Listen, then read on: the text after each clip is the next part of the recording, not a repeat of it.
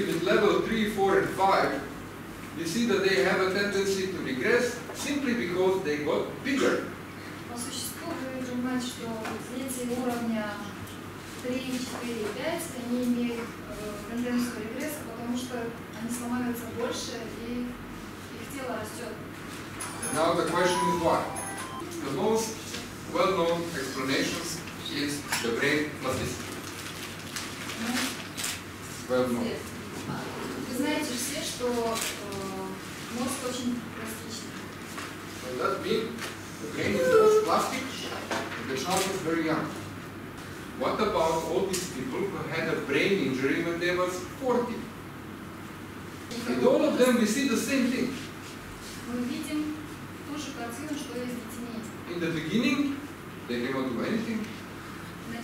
Вначале они For не very могут little. делать что-либо, and then we practice with them, and then they get better and better through years.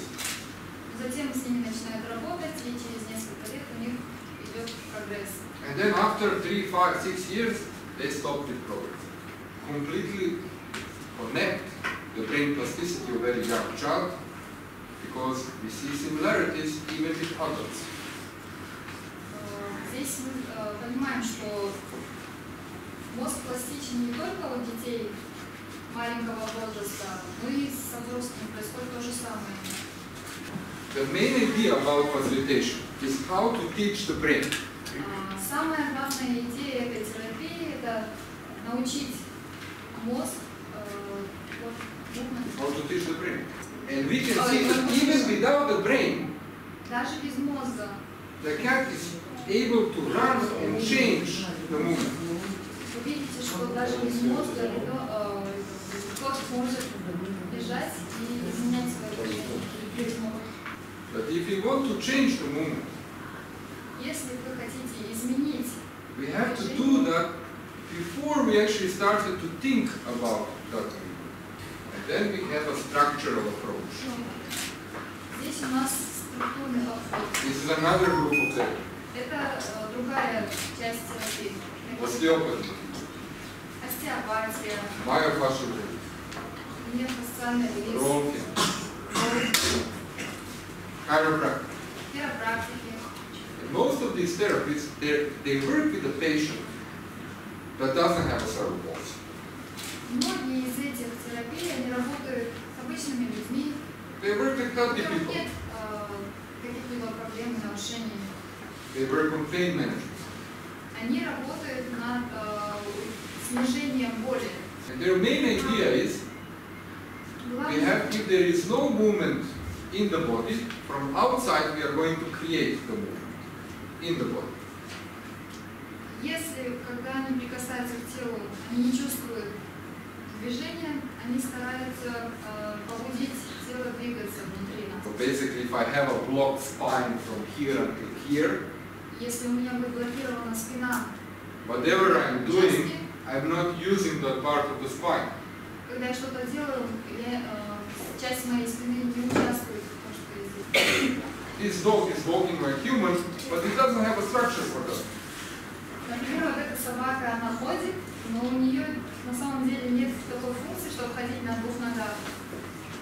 But he, was practicing, right? Он He was stimulated. он, он был простимулирован. So he achieved, acquired function of walking on two legs. Basically, the structure without experience, А, Структура без опыта движения, it's not enough. этого недостаточно. You need to have movement experience Кроме того, кроме структуры, вы должны иметь опыт движения. in order for your structure also to change in appropriate way. You need to put the structure into context. This is one very general idea how we work with the kids in the classical system.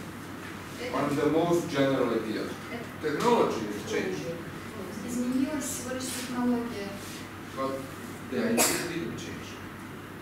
The general idea didn't change. Генеральная, главная идея ничем никак не изменилась. So with all that science and and, and, and, and, and knowledge, we are actually doing the same thing like 200 years ago. Все эти ученые, знания, мы все равно продолжаем делает то, что мы делали 200 лет назад. Now you can see after two years the child started to sit independently and move the head in different directions. Через два года занятий ребенок может сидеть и управлять головой в разных направлениях. So 90% decide that the fascia is water. Then this is what I was talking about. Here you can see how it was before. The spine very stiff. Я, я об этом только что говорил. Спина очень сжатая. So physically I was not able, this is the same chart. Это тот же самый This ребенок. is before and after. Этот ребенок до, этот So here we can see all the things that we see at the cells, we see on the, on the, on the chart. Те же проблемы, что мы видели э, на, на клетках, то же самое проявляется и на ребенке. The cells have problem with energy, Э, пробле- э, Клетки имеют проблемы с энергией, с differentiation, энергией, с дифференциацией, growth, ростом. and you can all see that. The child won't grow, the child is not differentiated as it should. Ребенок не растет, ребенок не дифференцирует. So then we come to the part of the fascia as a sensoric organ. Здесь часть, э, в чем роль фасции в сенсорном развитии, э, в сенсорных э, расстройствах. You see, the fascia is the most sensitive organ in our body.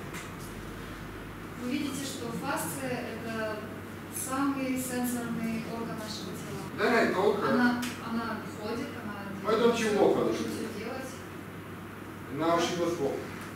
Здесь она ходит. Then I told, told, told her, close your eyes. Затем я сказала ей, закрой глаза. And this is how she walked, И with her eyes closed. Как она ходит с закрытыми глазами. See, she was wobbling, and it was very difficult for her to walk Для нее with her eyes тяжело closed. передвигаться с закрытыми глазами. When she opened her eyes, she actually walked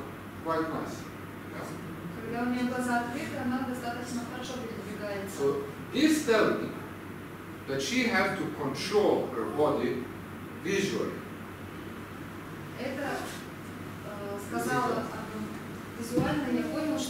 So, what does the BDA do?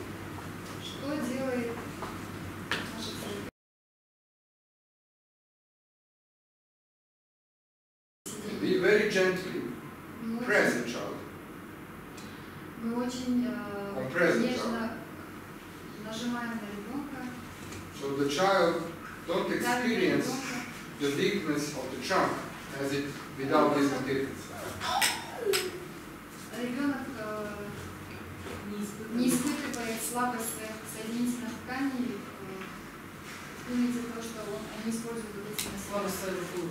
So basically from outside we are over bridging the child inner problem. And then you can see the after effect. Через месяц после занятий This is what, what mother sent to us about uh, three weeks after I gave her that exercise with the ball. это, с- это видео мама, присла, мама мальчика прислала после трех недель занятий с этим. So what we did, Что we мы create делаем? a different mechanical environment around the child body Мы создаем разную механическую среду вокруг тела ребенка, so the child doesn't have to think about these internal weaknesses.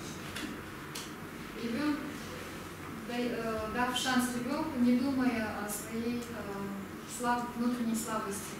Then the child will do the movement without excessive thinking. И ребенок начинает совершать движение, не думая о том, что он делает. And that give the best proprioceptive effect. Это дает огромный проприоцептивный эффект. Then you learn the movement. Затем ты обучаешься движению. When you do it yourself. Когда ты делаешь это сам, And not when somebody instructs you to do и something. никто тебе э, не приказывает делать We don't use our muscles to hold our head. Мы не используем никакие мышцы, когда мы держим голову. Do you understand? Понимаете это? Our muscles are working less than 3%. Наши мышцы работают меньше, чем 3%. They are there only to hold our head in one position where the spine and connective tissue will take all the load. So our muscles are holding, are just bringing the head in the position Наши мышцы только понесли нашу голову в эту позицию, where connective tissue with spine а, где с- соединительные ткани вместе с позвоночником will take all the load, all the а, weight of the head.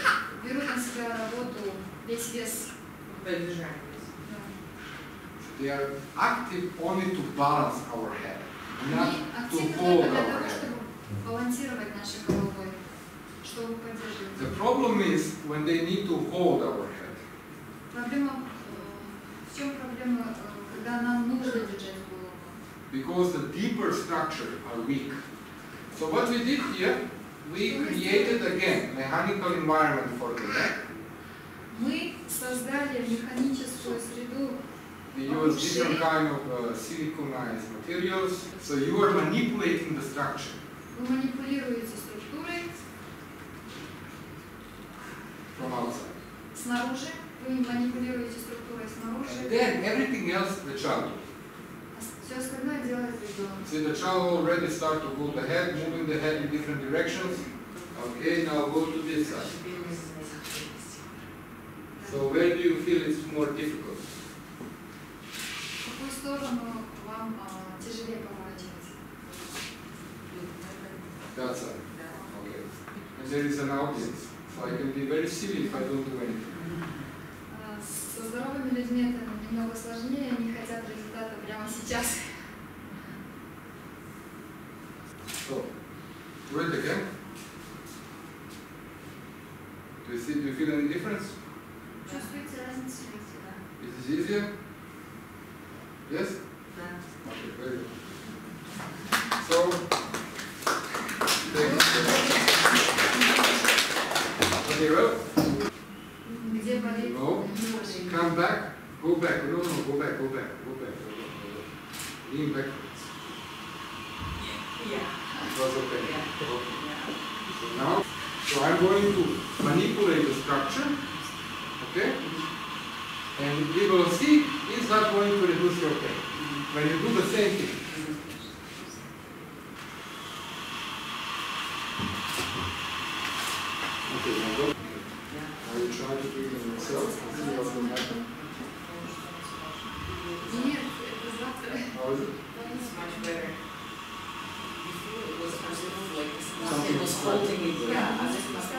Was holding Because it. Yes, have- like almost. uh, The only thing that I did there is over bridge, we had one problem, we have one difference there, it's like one place where you chop.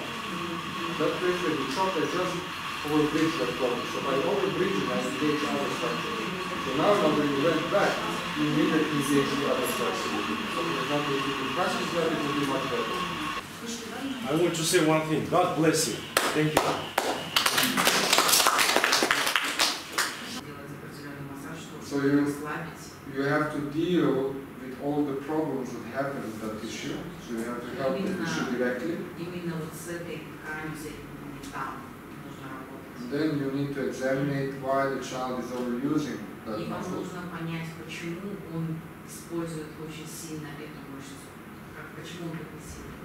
When, in what situation, И на какой ситуации. is it uh, Когда, tight when the child sits, when the child когда lays? он садится, когда он Or ложится, the когда child он walk. начинает использовать. Или когда он только Is it ходит. because of the just position, Или это только позиция the negligence? какая-то.